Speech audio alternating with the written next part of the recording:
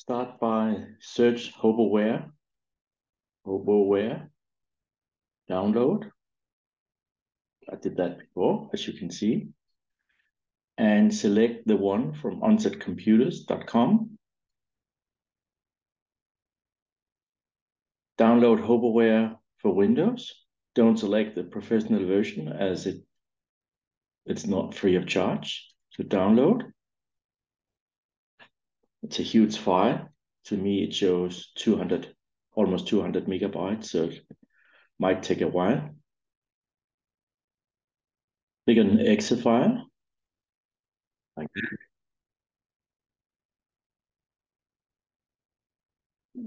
Next. I accept agreement. Next, next, next. Desktop icon. Yes, please. Install. We are almost there. That's it. I don't want to read that. Finish. And we are good to we are good to go.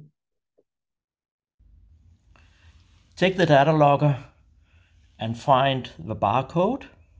The barcode is here next to it. There's a serial number. Note that down and note in which jar it has been deployed or in which jar you're going to deploy it. Unscrew the cap, this end, unscrew it, and find the notch. There's a notch here next to the bolt, and this notch has to be aligned with the notch in the cradle. Insert it. So it sits like this. And now the cradle is ready to be inserted into the computer using the USB connector. So now that you have inserted the data logger into the cradle, you can insert it into the USB port, bing, bing, and start the Hoboware. Ignore all these annoying messages the important thing is that Hoboware should say one device connected here down in the lower right corner. Now you press this icon, read out device.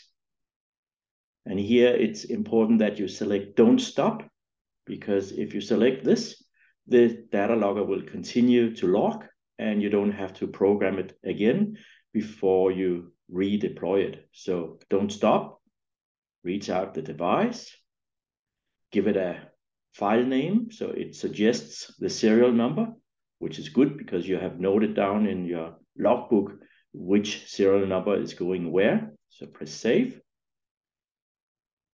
Now it'll plot the, the data and don't change any of these default settings. Just press plot and you get a diagram like this. So this is a binary Hoboware file. So you need to export it to Excel. So you use this icon up here. Uh, select everything, don't change any settings. Press export. Give it a file name. By default, it suggests the serial number of the data logger, and that's file. Uh, there's only one sort of file, the comma separated uh, file here, which can be read by Excel. Press save and it's all done. So now you can disconnect the device again and continue with the next logger. Once you are done, once you have downloaded the data, you can disconnect it again from the cradle and take the cap and screw it back on. No need to over tighten it because there's an O-ring. And this is now ready to be deployed make sure that you note down the serial number so that you know exactly which logger is going into which jar. We can use the same reader for both the round pressure loggers for the depth, this one. So this is for the depth. You can pull this off, pull straight like this. And then you can mount this one the rectangular shape, push all the way in, and here